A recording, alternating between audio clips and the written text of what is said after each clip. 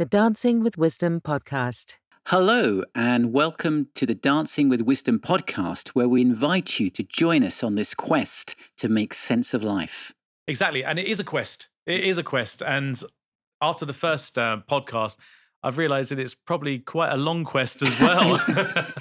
That's because, right. Because so many questions popped up. I think we could have taken that and split it up into uh, a million different podcasts. Well, that's what makes it so fascinating as well, because the more you learn, the more you want to know as well. And it's, it, I find the subject of wisdom, it's very life enhancing and very enriching. uh, Absolutely. in so many ways. But also emotional.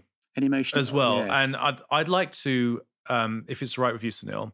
Now, I had the pleasure of producing your audiobook, and if you don't mind me saying so uh, on the podcast, there was an emotional. Well, for me as a listener, was there were lots of emotional moments, but there was one particular one which I'd like to bring up. yes. And today, I would like to talk about wisdom of the heart. yes. And about seven years ago, you had well, it's quite a tragic slash beautiful story to tell. And I wonder if you could just quickly guide us through that story. Yes. Yeah, I mean that's that goes back to my friendship with Abhishek Banerjee. Uh, Bunty um, was his nickname, and uh, he was a friend who actually I'd, I'd known for about ten years, and he got married and went to Bang um, to Calcutta in, in in India, and I would go on visits to India and to Delhi, uh, where he was living at the time with his wife, and this was in March 2014. I happened to be spending a week in India. And I told Bunty about that. And, you know, Bunty and I have had a, had a very good friendship while he was in the UK. He was somebody who I, um, well, he was part of the church that, that we, we were a part of. And he had a spiritual awakening um, when he joined that church. And I had the privilege of baptizing him as well as he'd come to this rediscovery of his faith. And he was also my technical guy. He helped me with technology. Do you, remember those things like little iPods and things like that? And I see. So you didn't have a clue, and he helped I- you out on those. Exactly. Right? Yeah. Yeah. I So, yeah. so tell us about um, when you went to visit him. Yeah. So what would happen was that um, Bunty would say to me that when you come to India, make sure that um, I'll be your taxi driver and I'll take you around and and we, we can hang out together and things like that.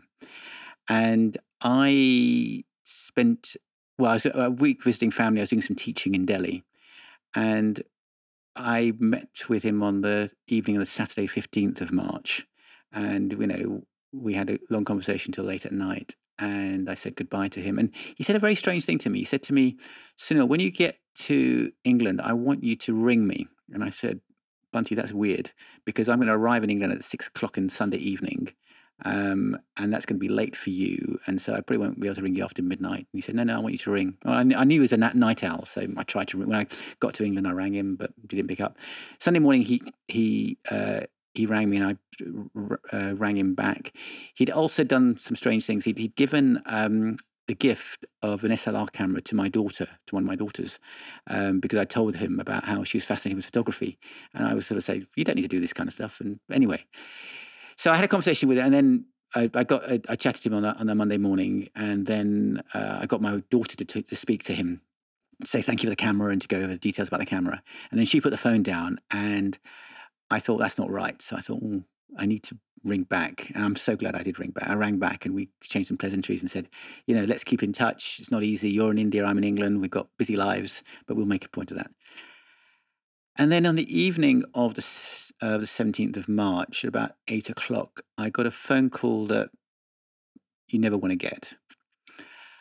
His wife rang me, and her words were, "If somebody's heart's not beating for three hours, can they still be alive?"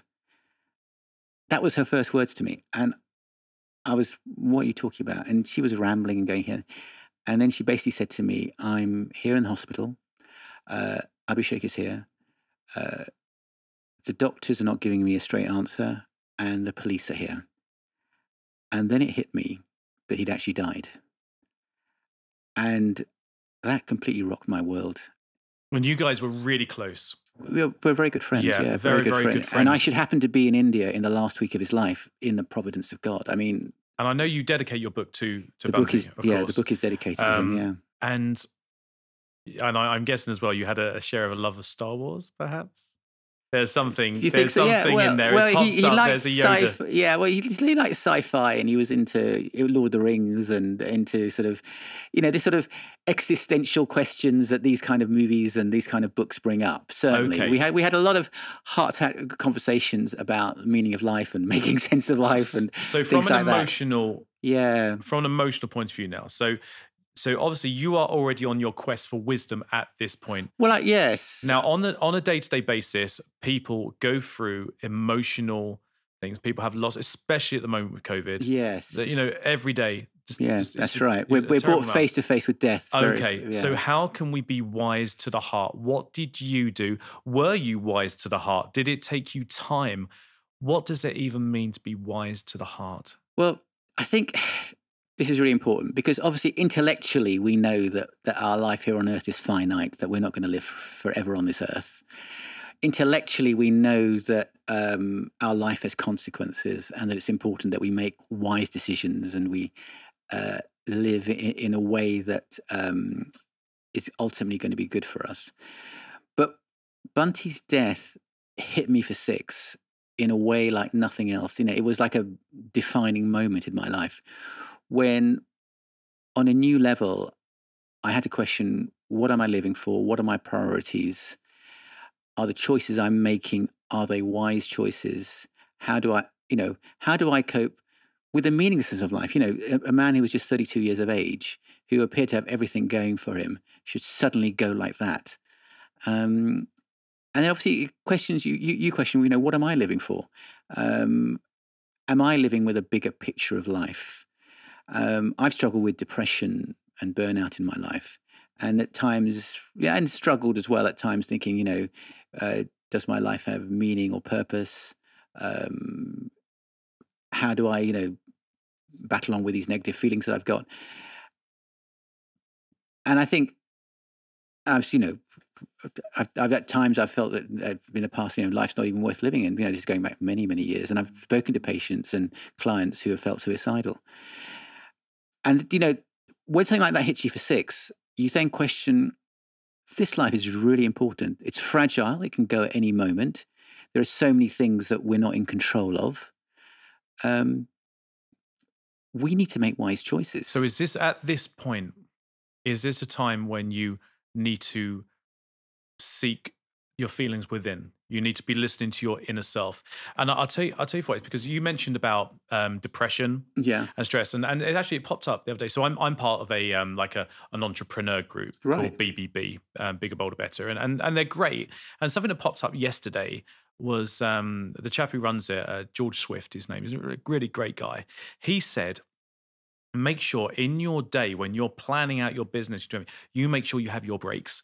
Yeah, You make sure you have your breaks, and it really resonates with me because sometimes I go back to back because I care so much. Yes. All right. So now this is the point. Okay. I care so much. Hmm, Am I caring about me at the same time? Yes. Am I being wise to me? And and he said, like when you're at school, you you do your work, then you have your break, then you have your Mm. playtime, and you have your lunch break.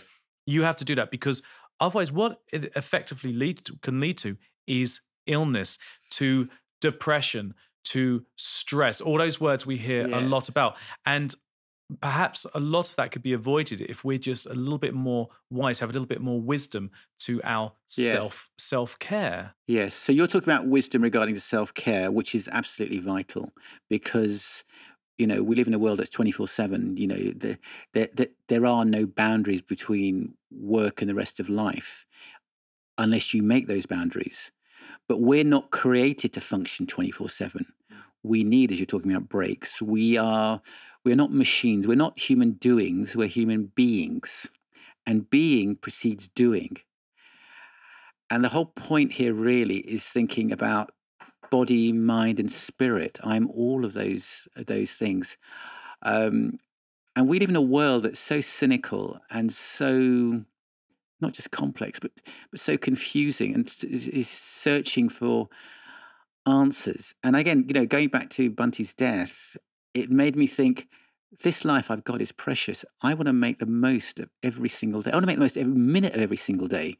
And I've, you know, I've made choices in my life that have left me feeling, you know, dissatisfied, discontented, down, depressed. Well, this is why I brought Yeah. it up, though, Sunil, because Yes, you, yeah. you you mentioned quite rightly that what I mentioned, I just sidestepped and was talking about wisdom Yeah. of sort of self care.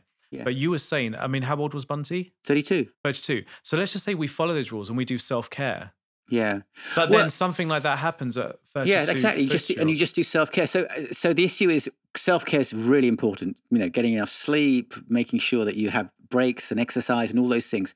But the point is, it's in the bigger picture of the one who's created us and what's going to happen. You know, we live in a very cynical world, secular world that says uh, you live and you die and then you just disappear. You just that's it, the end of existence. And when something like tragic as Bunty's death happens, you think if this life is all there is and there's nothing more, if there's no other greater narrative, then it's all meaningless. What am I living for? And mm. that hit me on a new level. Either, I think it was, I can't remember, who it was, somebody said, either this life is an, an amazing adventure or it's nothing at all. And if it's nothing at all, then that means I've just got to cram everything into this experience, into this life. And I could just go just like that.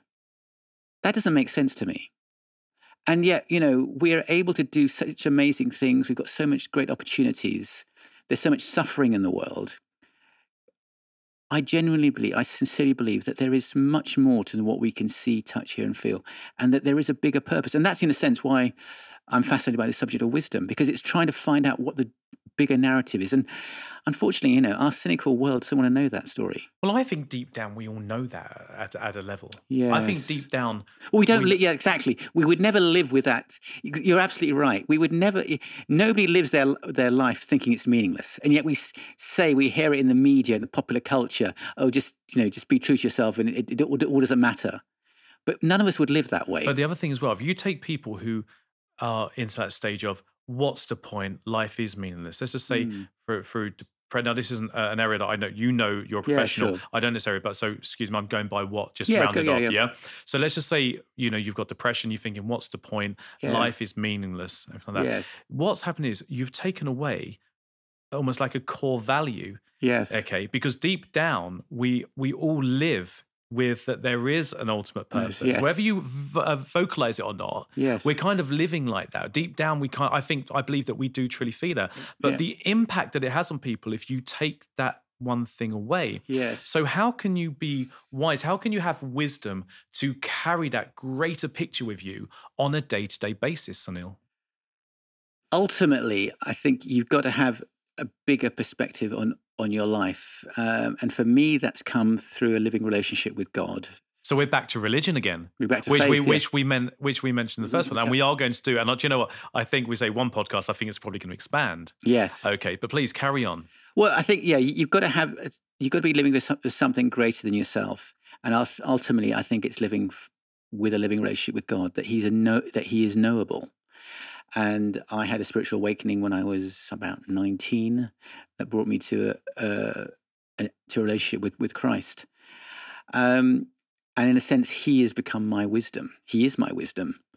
Um, So what you're saying there is religion. Now, now we have to point out that obviously um, with yourself and myself as well as Christianity, um, that and other people have different, different faith different views or no. Yeah. But, I think the key the key issue we've got to make is is that you've got to find meaning in your life. If you don't have meaning, then everything falls apart.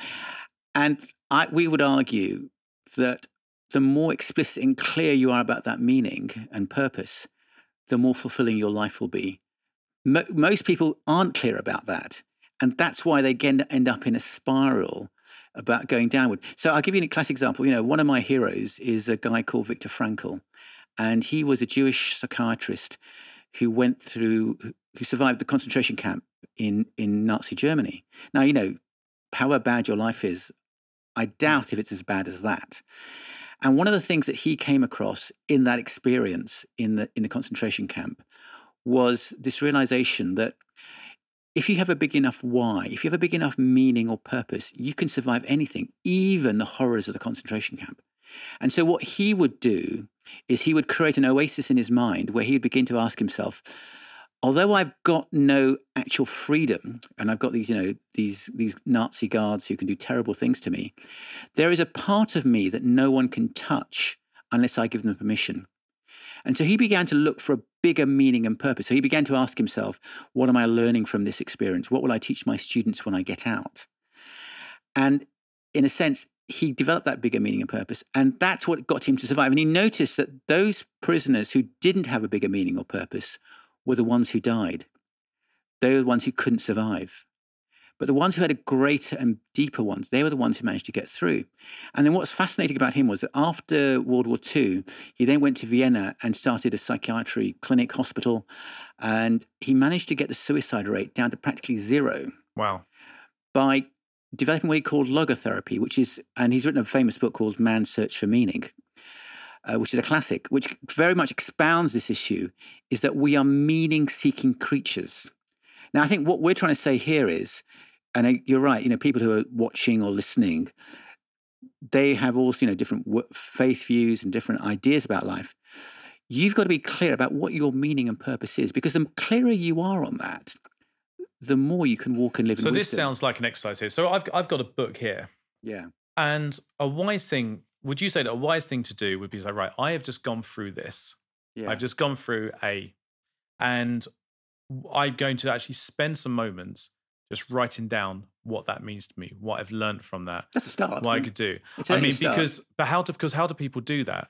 You see, because people, I think people need the education, the education of how to to put that into practice. Yes, I mean, again, we said in we said in podcast one, didn't we, about we are the most under reflective and over informed generation society in the history of the world because we have so much information coming at us. And you've got to stop and pause. You know, you've got to step out of the traffic. You've got to step out of all the noise and look, you know, look at look at your own, you know, the, the unexamined life is not worth living. You've got to examine your own life, but also begin to seek out where are those sources of wisdom.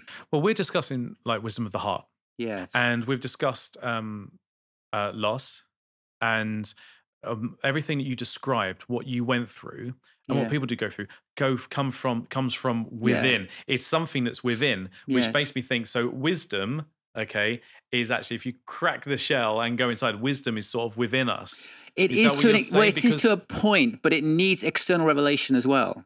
So yes, it's in a sense because when it, something it, hurts, it hurts oh, from within. It hurts from within, and and and pain and suffering. You know, uh, it it raises big, big questions. Um, I think it was it Lewis who said is is that pain is the megaphone by which uh, God, which God uses to to wake up a, a deaf world. Okay. And, and so it, so there is that, ex- but we need external revelation, as it were. And you know, you and I have come to that revelation through knowing God through the biblical scripture, um, and different people are on different journeys. But that's in a sense that conclusion that we've come to. Well, it, I'm going to tie something in here because we've we've talked about the loss, but let's talk about the most powerful emotion there is, and that love. Love, yes. Yeah. Now, when you when you love, now I, am going to get a little bit soppy here. I remember the the first time I, I told my wife I loved her, and I had no choice but to say it. It was bursting. It was right. bursting to say it. You yeah. see, I had been for a long time, but at precise moment, I had to say it, and it's a wonderful feeling. It's a wonderful feeling, and and something that I do now in in a very busy sort of successful business that, that you're running them and it takes a lot of time i i'm wise. Something i've learned is to be wise in reminding myself of the values of at home and my family and everything like that. That's that's so i'm constantly teaching myself reminding myself to be wise to have wisdom within that yes. you see. So when it comes to love do you think that perhaps in in a, a neg sometimes a negative world do you think that we need to be a lot wiser and have wisdom to sourcing the love from within and externally? That's a fascinating area because and I'm going to challenge you a little bit here as well. Don't challenge me because I'm here to challenge you. what, what I'm sort of getting at really is love is a fascinating subject. I mean, in a sense, you could argue, in a sense, love is foundational to wisdom. But what is love, you see? So, again, we're conditioned to think of love as that sort of romantic, soppy feeling, okay? And it certainly can start like that, but love comes at different levels. And so, for example, I, I've been married for 30 years and I had a certain love for my wife when we when we married, and there was a lot of intense emotion and and you know experience on, on, on that side. But as you get as time goes on, love becomes much more than a feeling. It becomes a decision, an active choice of the will that I'm going to love you and commit myself to you for the rest of my life through, you know, as we say in the marriage vows, for better, for worse, for richer, for poorer, in sickness and in health. And so that love gets deeper and becomes much stronger and much greater than our feelings. Because, you know, at times, yeah, I mean, in every marriage, you find yourself, you get irritated with each no, other. No, we don't. but the, but, the, but the, truth, the truth is, though, as well, is that um, I actually believe that you're saying about the deeper and it gets more deeper but i think we have to be careful there. Yeah go on yeah. All right when because you could say oh we're getting deeper and deeper which means we're suddenly having deeper conversations and, and yeah, we've got more things to think about. But i think that we i think for the listener what i i, I believe that being wise within a, a marriage a relationship yes. as it goes on is to remind yourself of the core values of what brought you together Yes. Because let's just say, like us now, we are no different to when you're younger. I remember being younger thinking, when, oh, 18, that's really old, really old 18 to get to 18. Like 21's really yeah, old. And it goes on and on and on. The truth is, you don't, you grow in through wisdom and experience, but you're still that that person. But, yes, that's interesting, isn't it? Yeah. But so, yes. so we're very good at putting masks on our faces, but underneath, we're, yeah, correct. that's right. Yeah. And you're laughing and you're laughing and you're joking in a new relationship. Yes. You need to remind yourself what they are are, yeah. and because you're still that same person. So if it was a case yeah. of going to comedy together and having a good old giggle yes. and a pint, yeah. then that then if that's what really gets you going, then you go and do that again because that hasn't actually changed. It's just along the way, yes, other things have you you got older and, and other things come you've, you've got more experience and maybe you learn that maybe that's not a good thing to do or a good thing to say hopefully you get wiser. And I, I, suppose that's, I think this is one of the things that actually quite unnerving about wisdom because it does involve a conscious choice and a decision. So yes, we're going to get older, and obviously, chil- you know, children become adult, become young adults and get older. So physically, we age and grow. But wisdom is not automatic. You know, I've I've always been challenged by a quote, which is that there's a world of difference between thirty years of experience and one year of experience repeated thirty times. Hmm. It's a world of difference because in the second case, you're not learning. You're, you know, they say one definition of insanity is doing the same thing again and again, expecting a different result. And what you know, what you notice is that people who maybe don't live with wisdom, they go through one relationship after another relationship. You know, they start off with one relationship and it goes really well, and they're all madly in love, and it's all amazing. And then something happens and it cracks, and they go to the next person, and they go to the next person. Mm. Or you know, I've seen it in terms of um, with church circles, you know, people who go to a particular church and they think it's amazing, and then they last a year or two, and then suddenly they have a blowout with with their church leadership or with somebody in the congregation, and they go to another church, they go to another church, they go to another church, yeah, because yeah, yeah. they're not living in wisdom. Because one of the big things about wisdom is realizing is the problem's not out there. Yes, there are problems out there, but really the fundamental problem starts with me. You know, okay. there, there's a famous uh, story about um, G.K. Chesterton. Uh, there, there, in the Times, there was a um, they asked the question, "What's wrong with the world?"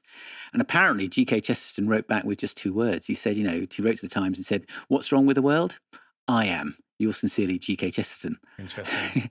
the whole point is realizing that I'm the one who's got the maximum control of myself. I can't change other people, um, but I can make a choice to make wise decisions. Well, let's leave it there. I think that's um, that is a podcast. We're going to write that down straight after this one. I'm going to write that down, and we're going to go on there making our own decisions. Yes, interesting.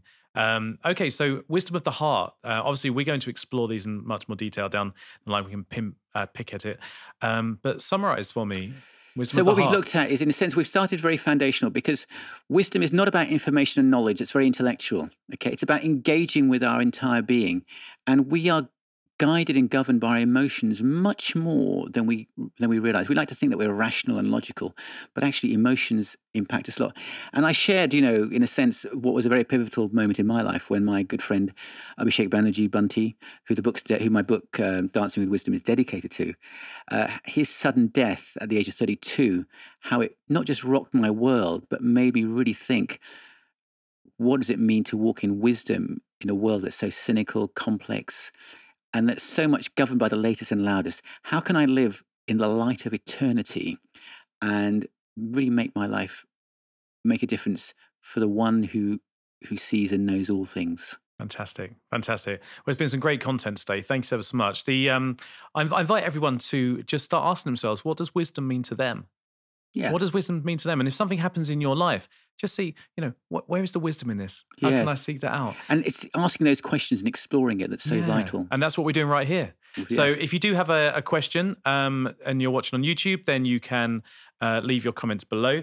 And of course, um, do tell your friends and you can email us directly. How do we get hold of you, Sunil? So yeah, just at the website, drsunil.com, you can go there. And you can get hold of me, Elliott, two L's, two T's, Elliott at monkeynut.uk.com. Or, of course, you can get us both um, on the Monkeynut um, Instagram and Facebook post.